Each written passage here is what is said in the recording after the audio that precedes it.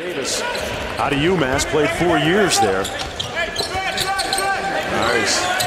Good defense, full court pressure. And Simons turns it over. And a tough finish at the rim by Hassan Martin.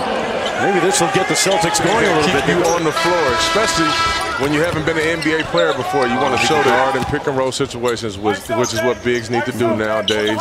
With it being a guards league, Can he switch pick. that onto a small guy and cover? And, and, and I'm not saying lock him down, but he can send him to the help. Okay. He can use his length. He can pick. He can roll. I like the way Zach Collins is out here talking on defense, calling out coverages, being ready to protect his guys if they get beat.